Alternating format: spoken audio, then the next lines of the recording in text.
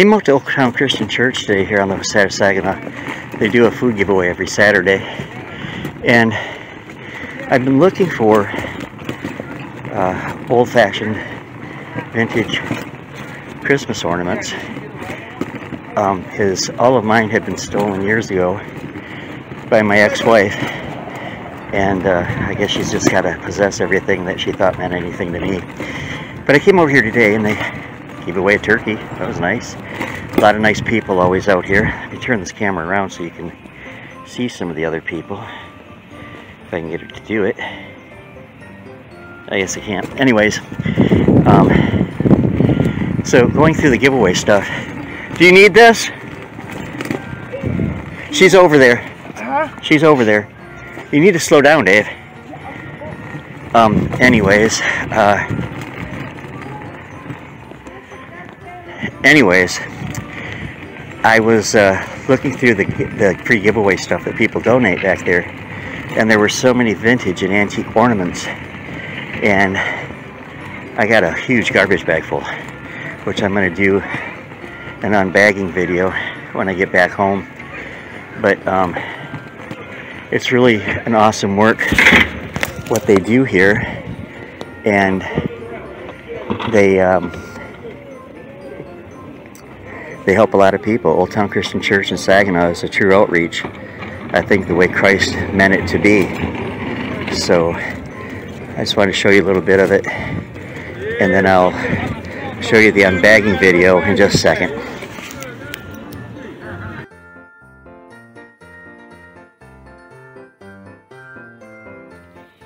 Well, I'm back home from the church giveaway, and um, this is the bag that I brought home of vintage ornaments and, and such. It, part of it tipped out when I was setting the bag down. I hope nothing got broken, but uh, we're going to take a look at this together. So I'm going to set this up on the tripod, and uh, we'll start looking and see what uh, what treasures I found there. Okay, I guess we're all set here. Uh, can't see the bag, but I will hold the pieces up for you. First is this box. And it's a box from Bronner's in Frankenmuth, but it's not actually Bronner's things in it. Let me hold this up so you can see inside here a little bit. Now, I've been looking for vintage bulb ornaments. Now, this one's not real old, but it is vintage. And it says on it, Happy Holidays from Opryland. Say, I'm going to set that over there for right now. And then we've got uh, this uh, from 2001. Again, it's not old, but it's a nice little nativity um, ornament. I was looking for the older things, and there are some in here, like this one. Now, this uh, reindeer is uh, from Napco. And it's got the Napco sticker here and then the imprint up here, uh, 1956.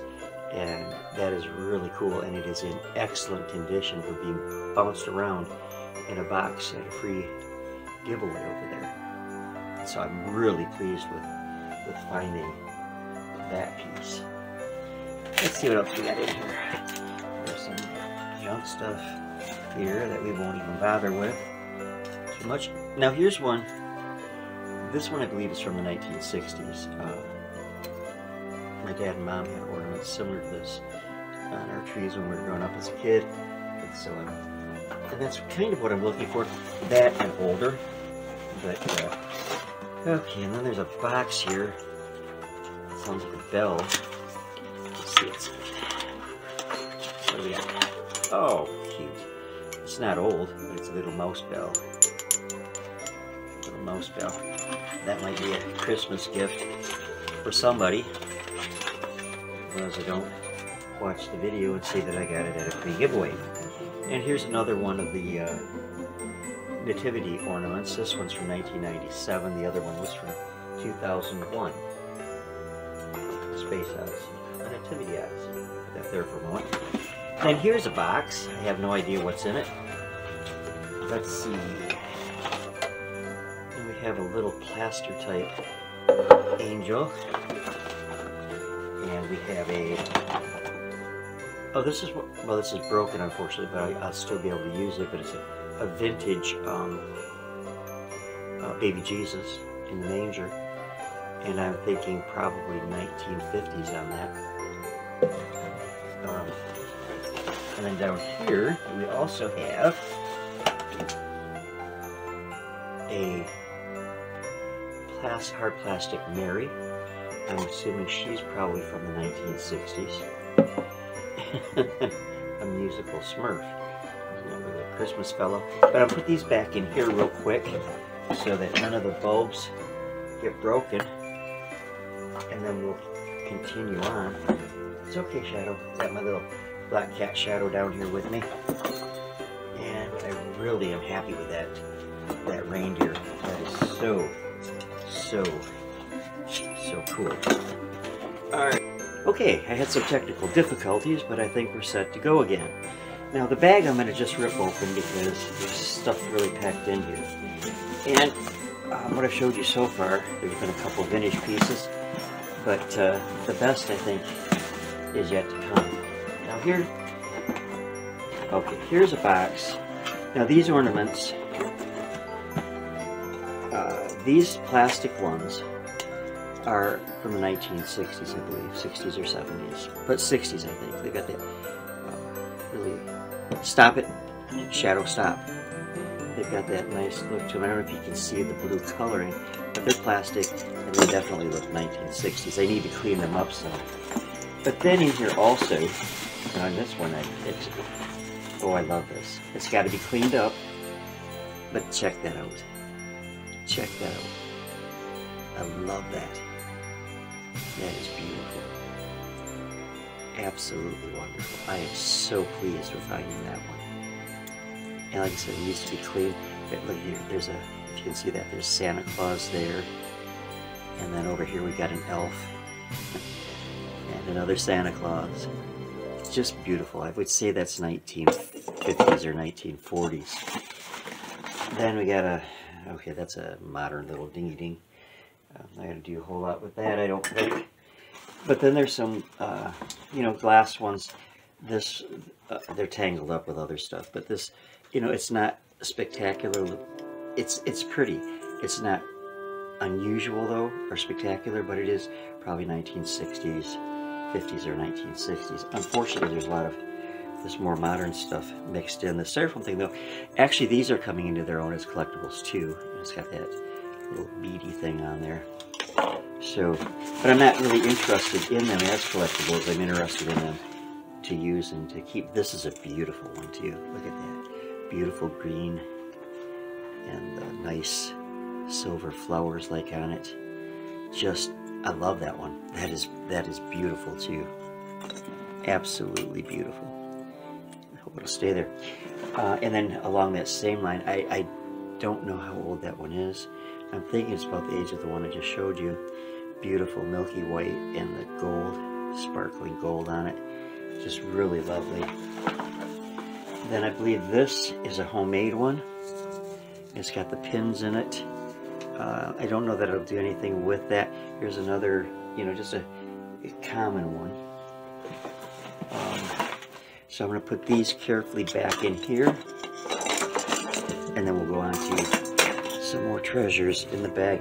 These two I am just so happy with. They are wonderful pieces. Wonderful.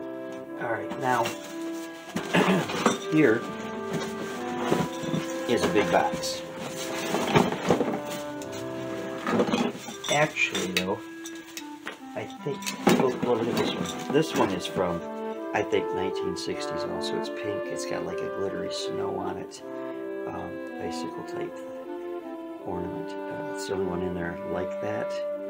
Um, so it's plastic again, in 1960s. I'm going to save that big box for just a minute. We're going to look at, I tucked a smaller box in here. Let's see what's in here. Oh, just one ornament in here, but that's okay. It's a nice one. Gold with the stars on it. 1960s, I would think really pretty. That one aside. That's all that was in that box, but that's okay. Oh, here's another one. Oh, I like that one too. Again, 1950s, 1960s, silver with uh, silver uh, like tinsel, not tinsel, uh, glitter, uh, silver glitter on it. Really pretty ornament. Some really pretty ones in there. Now, the big box. In the big box I'm happy about because let, let me tip this up in a minute here to show you that it is a complete nativity, vintage nativity set. I believe these are Italian. Uh, you know, I'm not going to go through and show you all the pieces, but because there's a lot of them. But uh, it is an Italian like plaster set. J stop it, Shadow. You know, I like the faces, the details on the face. Baby Jesus. Good girl, Judo. Or Shadow. You're okay. Um, they're really nice pieces. I can see that I have to touch up paint on a few of those. They've probably been bounced around for many years. Um, but that's alright. That'll be easy enough to touch up. Some of them look like they might be from a little bit different set. Um, because of the base, I say that this one has kind of a concave base, and many of them just have the, the flat base. Let me see what else is in here. Oh, here. Oh, this is pretty. Gloria in excess, excelsis Deo, the angel. I don't see that one a lot, so I like that.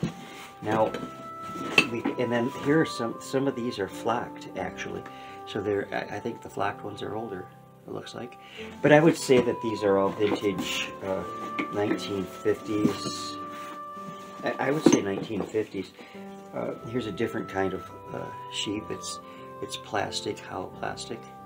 But most of it, I'd say 90% of them at least, are the plaster type um, that I'm pretty sure is from Italy. So that was a nice set to find and to find at the awesome price of zero dollars. Now, what I'm excited about with this set too is that is that it came with the actual Okay, just a couple more things here to show you. Oh. Back down here, the pièce de résistance, as they say, was the actual manger scene for all those figures I just showed you, and I think that is so cool. Um, okay, this in, its, in and of itself is not vintage, but it'll, you know, the type of figures that I got will fit nicely into that. Then I, there was a box that I thought were Christmas cards. I mean, what would make you think that? But I opened it up, and I saw these different kind of hangers for ornaments. But um, I like them because they're vintage pre-barcode hangers. And then this one really goes back there. So I like the old box. And I'm just noticing that's backward. I wonder why. Anyways, there's that. Those are cool. There's like four boxes of those, boxes of those in there. And um, card box itself is vintage too, so that's kind of cool. And then while this is not a Christmas piece, I thought this was really neat and it's heavy. It is a carved agate stone uh, tissue dispenser box. That that baby's heavy. That was that was free over there, and uh, I love stone, natural stone. And it says on it, what does it say? Can see it. Uh, onyx, onyx stone, hand carved. And I can't see where it was made. Very pretty piece and I'm going to use that proudly. And then the only other thing is, I love hats, different kinds of hats and that. And so I picked up a Great Lakes Safety Training Center hat. How's that? Hmm? Is that very becoming? Hmm? Not really. I like it though. And then uh, Anna Maria Island from Florida. And Florida is like a home away from home to me. I haven't been down there for a long time, but it was a place that I very much uh, appreciated some, through some difficult times in my life. And there have been a few of those. So let me get back to this hat. And that's it. Now what I'm going to do is uh, the day after Thanksgiving, or maybe before Thanksgiving yet even, I'm going to set up my Christmas tree. I have a really pretty fiber optic tree that my neighbor and good friend Gene gave to me. You know, and Gene since we've been in, since we were in, kid, we were in kindergarten together. And um, so I set that up. I'm to use some of these decorations that I showed you today. I'll use a few that I've got in my in my collection from years past. And uh, I'll show you the whole the whole thing when I get it all set up. Hey, thanks for joining me today. I'm always happy to be able to get together with you guys. I love you all. I appreciate you all more than I can possibly say. And I hope you have an awesome day. God bless you. And again, I love yous. Well, I couldn't resist after going to the church today, getting stuff out and starting to decorate some for Christmas. Um, this is the nativity that I found in the church today. I was telling you about earlier. Um, really nice figurines. They're from several different vintage and antique sets. I love the angel there. And I have to do some retouching on some of the figurines, and I'll do as they're out. There's the precious baby Jesus and his mommy, Mary, and his dad back there, Joseph, and all the worshippers, even the animal worshippers, coming to see them. And this is where my fiber optic tree is going to go. And then over here, this little tree, fiber optic, I got a couple weeks ago at church for free. I've got to get a package of small bulbs uh, to use on that.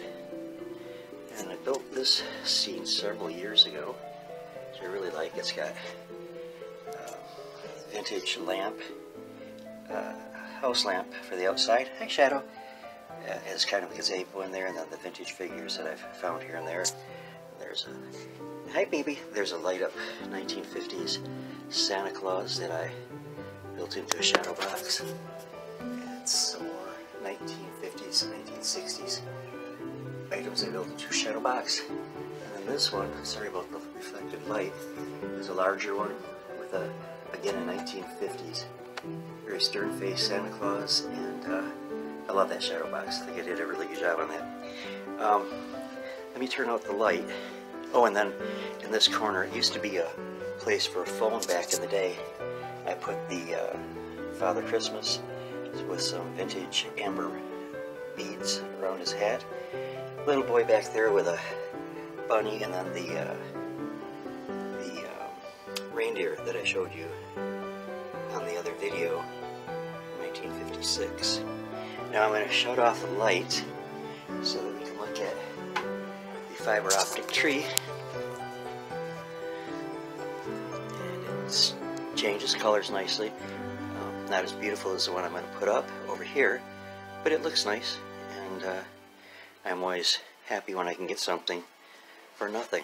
And then here is the Santa Claus again. And I just, I just love him. I think he's so cool because he's probably, he's about as old as I am. He's about 65 years old. Come on, June or Shadow. So I'll I'll update this as I decorate let you see it when it's all done. I forgot to mention a couple things when I uh, had this on a moment ago that I want to point out before I forget. These uh, are actually two bricks. They're glazed bricks um, with rounded front. They were decorative on whatever structure they were used on. I pulled those out at the Saginaw River. I did, or Gil did, but they make a nice kind of um, front for for many different kinds of scenes. And then this is not a tablecloth; it is a, a rug. This is from the 1920s, and I pulled it off somebody's trash, brought it home, cleaned it, and it's beautiful. And it's been Charlie's Charlie Cat's favorite place to lay where I had it upstairs, which was right in the center there. So that was a nice find. I, I think it's really cool. And then I didn't have this out when I when I did this before, but I love this one too. This is another nativity that I did uh, several years ago in a shadow box. It's too heavy to hang the shadow box on the wall. But the Mary, Joseph, and the the wise man in the back, the king, who I um, like to think of as God watching over his son, uh, they're, they're vintage. Uh, but the little egg down here, it's uh, alabaster, pink alabaster, and inside of it is carved the tiniest nativity scene that I have ever seen anywhere. So, and then the little marble block, I dug up someplace here in it too. So I really like that one. And I love that little miniature nativity scene in there. So back at you in a little while, a couple days, whatever. Check it out, Charlie. See, this is Charlie's tree. He's remembering it last year. but it's on your tablecloth. Charlie, don't you do that! you little snot. he, was, he was gonna mark his territory. you little brat. I love you, but I love you. Grandpa never get mad at you. right on camera too, Charlie. What up with that? The whole world's gonna see Charlie Cat try to mark his territory on the tree. you silly boy. I love you. Who is that underneath the Christmas tree? Do we have more tobacco? Nope. It's overdrawn, so I, I wanted to finish this before. How much? $65 total. Hi, Charlie. A baby boy? He found his tree, Daddy. Uh-huh. He loves his tree. Don't you? Always did. Always did love your tree. Yeah. There's my baby. He loved it so much he tried to mark it.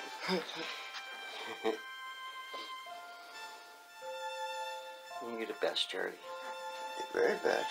That's for sure. He's a daddy boy.